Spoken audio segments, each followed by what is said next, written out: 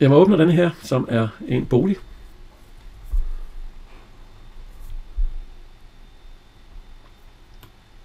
Her sætter lige til fine, så vi kan bedre se, hvad det er, jeg har tegnet. Og øh, der skal jo være nogle vægge herinde, og det kan jo godt være, at de vægge også er lavet i CLT. Øh, nu må man så sige CLC og vådrum, øh, der kan være lidt øh, der, men øh, jeg tegner det helt op i CLC, kan kan ændre det øh, senere i forhold til øh, det, men øh, så må vi jo tætne vådrummet så godt som muligt. Så højreklik, jeg siger øh, Draw, Create Similar, og så tegner jeg nogenlunde, som vi ser det her. Der er en skagt. Her der tegner jeg til øh, til Wall Centerline.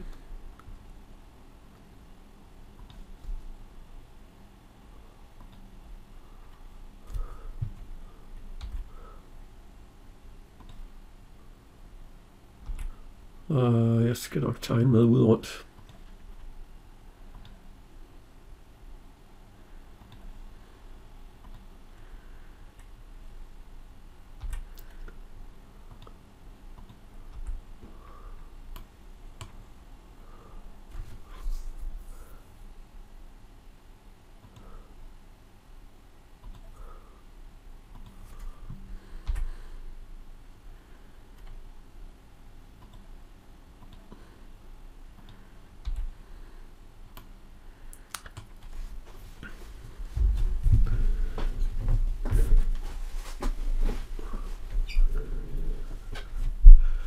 Og her har jeg en speciel trappe, der går ind, hvor vi har faktisk en halvsvingstrappe. Og den er nok ikke så nemt at lave lige i Revit. Øhm, jeg har en trappeskabelon, og det er nok den, jeg måske vil tage lidt øh, udgangspunkt i. Ellers øh, må vi øh, prøve at lave det øh, så godt vi kan se, hvad Revit kan igen. Men jeg tror, når de har de her skarpe sving her, så bliver det svært at lave øh, fornuftigt i Revit. Der skal altså en god sneker til for at lave det. Men øh, det er nogenlunde øh, sådan, som øh, væggen er. Jeg går lige ind i en målsætningsplan øh, her, sætter nogle mål på. Det er altid godt at gøre. Så vi har styr på øh, målene.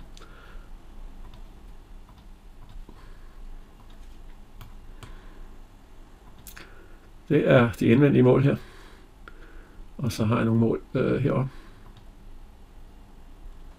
Fordi så kan vi øh, rette øh, målene, hvis der er nogle mål, der skal være lidt pænere. Øh, det kunne være målet her, som vi måske vil have 1200.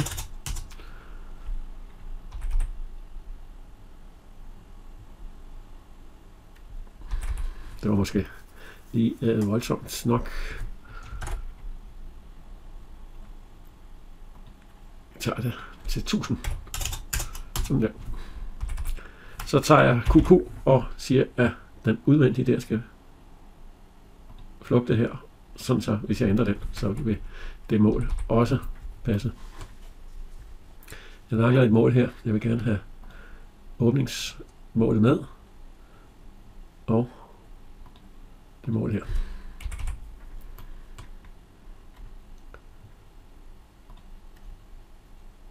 Den der sætter jeg til 1000. Og den skal bare gå der, så den er god nok. 2700. Tror jeg godt, jeg vil ændre den til. Sådan der. Og ja, den der flugter med den der, det vil jeg sådan set også gerne, tror jeg.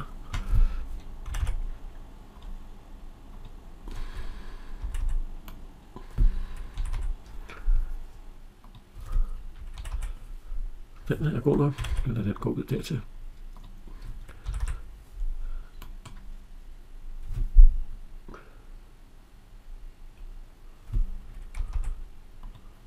Femten hundrede.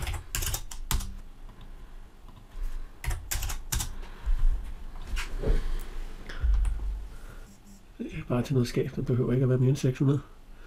Øh, det er også 600 skab, så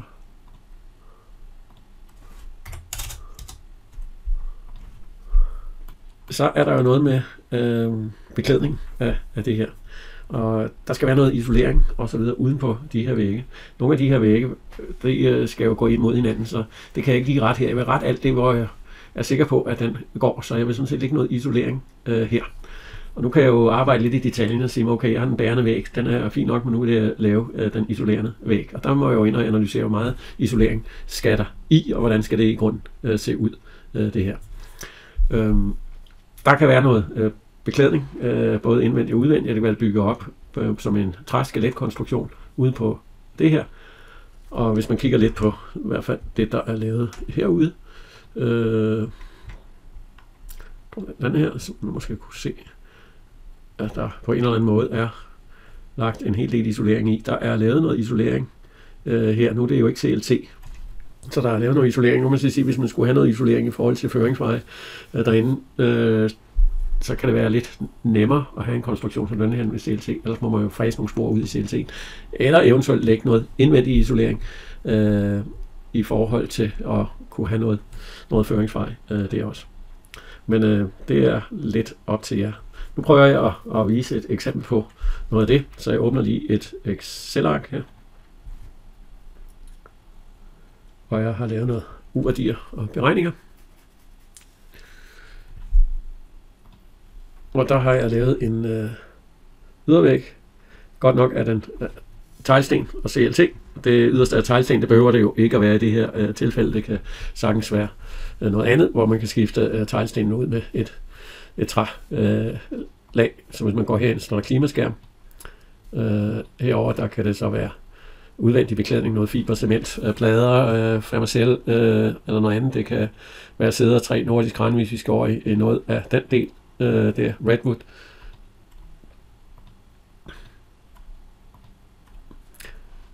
Så det kan se sådan ud, og så kommer der et 50 mm luftlag, så er der måske noget træfiber isoleret, til 2 gange 100 mm isolering. Øh, her så har vi CLT, der er øh, sat den til 120, tror jeg det var. Øh, så den vil se sådan ud. Og hvis jeg kigger på den her, så kommer jeg ned på en U-værdi på 0,15, at der står risiko for kondens her, er fordi vi er i september måned. Hvis jeg går ind og tager januar måned, så er der også lidt her. Øh, det er den udvendige del af det, så det skulle gerne forsvinde, når vi nærmer os april øh, måned her. Grunden til, at det ikke forsvinder her, det er fordi, der ligger et lufttag her. Og det kan godt være, at der skal være et luftlag, men det skal være ventileret luftlag, og det er nok det, der er lidt problemet øh, her. Ventileret hulrum, sådan der, og så kan man gå ind og sætte, det, det behøver nok ikke at være 50, kommer lidt an på, nu sætter jeg til 50, så det, så vil lige se, om det ikke hjælper lidt på det. Det gjorde det ikke overhovedet. Øh, derinde, så kan man se, der er ventileret hulrum, så skal der ligge et lag herinde, hvor vi har en vindspær. Så jeg går ind i Revit, vælger en væg, og så går jeg her ind og vælger en ny væg af en eller anden art. Skal jeg sige, jeg kan godt tage udgangspunkt i en exterior generisk her, edit type, og så siger duplicate.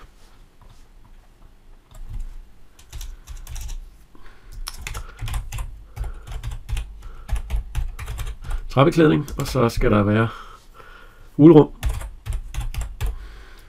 Og så skal der være en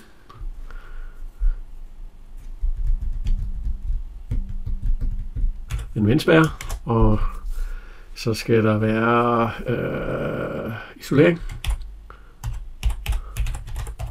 Og så kommer faktisk min CLT der, så den bliver nogenlunde sådan her. Edit. Insert, insert, insert. Så jeg skal have nogle lag her. Jeg starter med den første, som er et finish. Og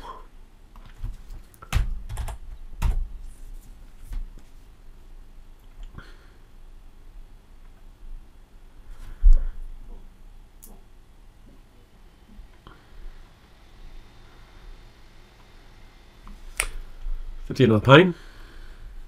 OK.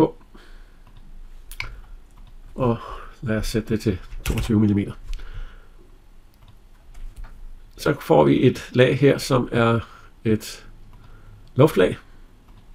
Og der må man så gå ind og så se, hvad siger forskrifterne øh, med det, og der vil jeg anbefale, at man går ud og kigger i øh, SBI-anvisning øh, 279, og så går ind og kigger lidt på lette konstruktioner øh, her, eller en kombination, en kombination af lette og den anden, og der er, som jeg sagde på side 165, der er der nogle eksempler, og, og der skal stå her, der skal mindst være 20 mm dybt ventileret hulrum bag facadebeklædningen, øh, i det tilfælde her, og så skal der være en vindspærre, og så skal der være øh, noget varmeisolering, og så er der selve bagmuren. Så det er den måde, vi øh, laver det på. Så på side 166 kan I se lidt noget dokumentation om det. Så øh, minimum 20, det kunne så være 30. Og så går vi ind og siger, ja, øh, øh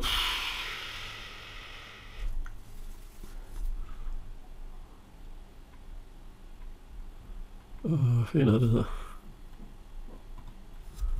Ja, ok. Og her har vi så vores, øh, det kan man kalde substrate, det her, hvor vi sætter nogle øh, plader øh, på, og der er forskellige plader, man kan, øh, der er en, der hedder, så gå ud og googler,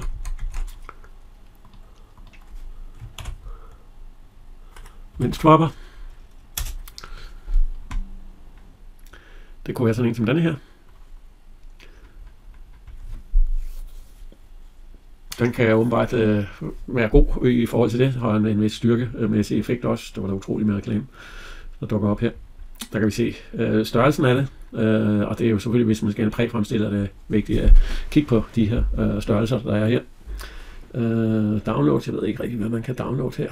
Øh, vejledning, montagevejledning osv. Og mener, den er 9 mm tyk, den her plade. Det er den også.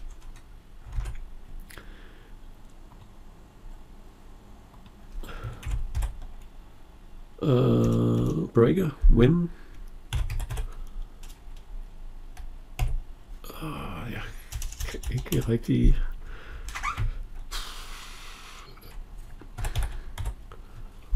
Uh, så jeg går ind og duplikerer denne her.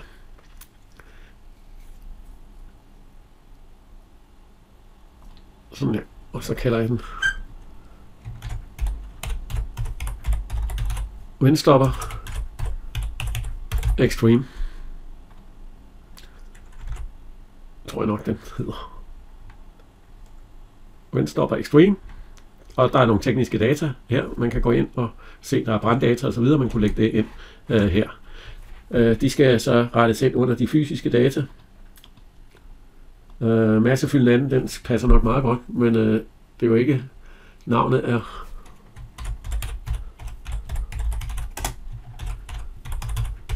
Extreme.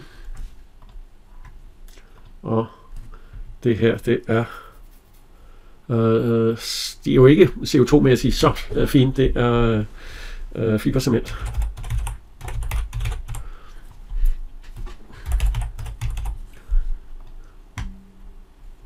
Siger OK. Og så siger den øh, 9 mm. Så skal vi have noget isolering. Og øh, en eller anden form for bat. Det kunne være, nu står der rock, wool. det er det formentlig nok ikke øh, her. Det kan være træfiberisolering eller noget andet. Så man kunne gå ind og duplikere denne her igen. Nu biber jeg holder denne her, det må I selv øh, gøre. Nu har I set, hvordan man gør, og så kan det være træfiber, så kan man lægge den ind. Man kan gå ind og google Hunton og se øh, der, hvad øh, det er densitet 200 kilo per øh, kubikmeter. Det er i hvert fald ikke rigtigt, kan man sige. Den vejer måske 60 kilo. Så der er nogle ting, der ikke helt passer her. Hvor meget isolering skal I have øh, her? Jamen, øh, det statiske er jo ikke så meget, det, men det kan man sige omkring 200 mm øh, isolering. Det kunne være, øh, det, hvis vi så lægger det i noget spærtræ, så er det 195.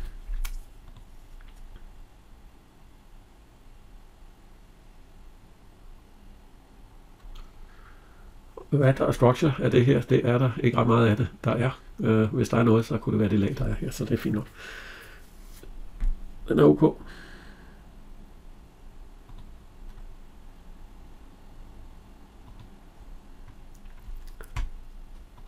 Finish Face Interior. Så er vi her.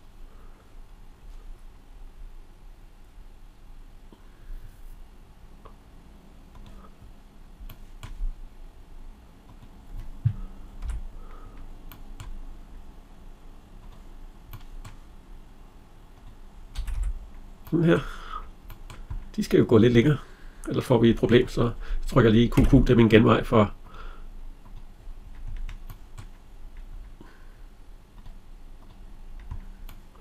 Man kan også øh, bruge den align, så kan man, øh, hvis der er en, der hedder multiple, multiple alignment, den er der. Fordi så kan jeg gøre det her en gang, og så kan jeg klikke der, og så kan jeg gå over og klikke her. Sådan der. Hvad så, når jeg sætter vinduer i og døre i?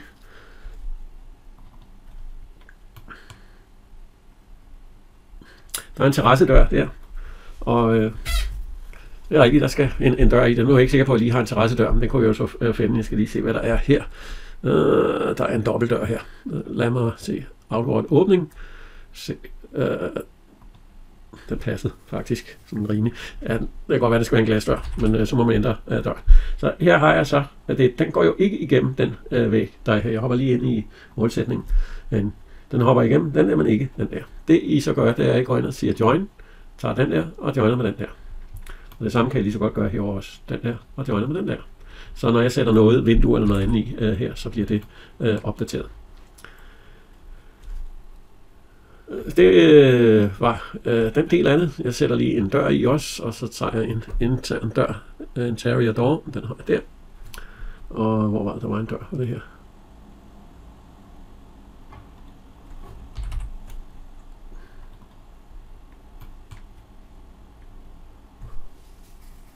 døren den går herover, så den skal lige flippes, og flippes den anden vej, og så skal den flyttes.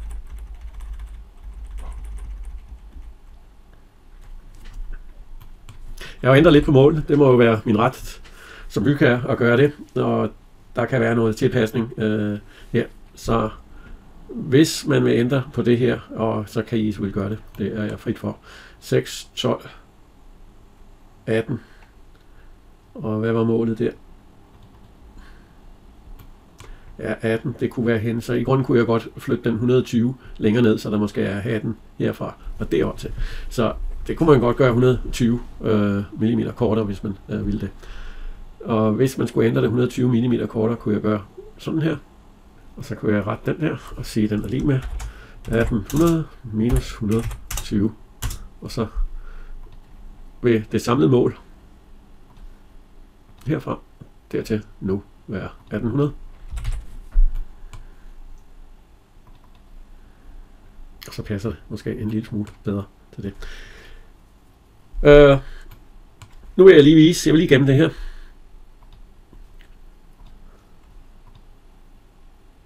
Så vil jeg åbne denne her.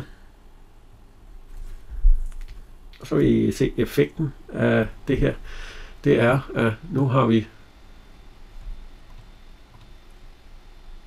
fået modelleret hele rækkehuset øh, her. Og hvis I går ind og ser, så passer samlingerne sågar også her. Jeg tænker modulært, jeg prøver at tænke, sige, hvor meget af det her bliver ens. Og øh, der er jo, så alt det jeg ved, der kan gentages, det tegner jeg først. Det vil sige, når jeg så opdager til sidst, der mangler nogle ting, det er jo så nogle af de ting, hvor vi så siger, at det er lidt svært at lave. Det må enten laves derude, eller laves i nogle bidder, der bliver monteret derude. Så, øh, så jeg laver alt det, man kan sige, der kan ligesom være et fikst element, og så øh, jeg håber, det giver jeg ligesom en idé om, at øh, ved at lave noget, der øh, øh kan fremstilles på en, en måde, som det her øh, er vist. Det er i hvert fald det, jeg har til hensigt at gøre her. Så det var lige et lille indblik i øh, den del af det, hvordan man kan starte projekter op og arbejde videre med det. Og som I ser, I får jo alt det andet leveret med. Det er bare et spørgsmål lige at få øh, lavet det. Det, I skal koncentrere om, det er elementerne, øh, ikke så meget rummene. Øh, elementerne gerne kigge på øh, og finde ud af, hvad er det for noget, der ligesom skal præfremstilles, og som er egnet til præfremstilling, og hvad er det for nogle elementer, I vil arbejde med. Hvis det er et badekabine eller noget, så kan det være en god idé, hvis du har to ens badekabiner, man kan sige en på øh, stueplan og en første, som var øh, ens. Det bliver lidt sværere, når det er, der skal ligge mange, men stadigvæk kan man sige, det kan man jo godt gøre. Så kan man gruppere det. hvis det endelig er. Øh, men øh, lad os tage det i klassen.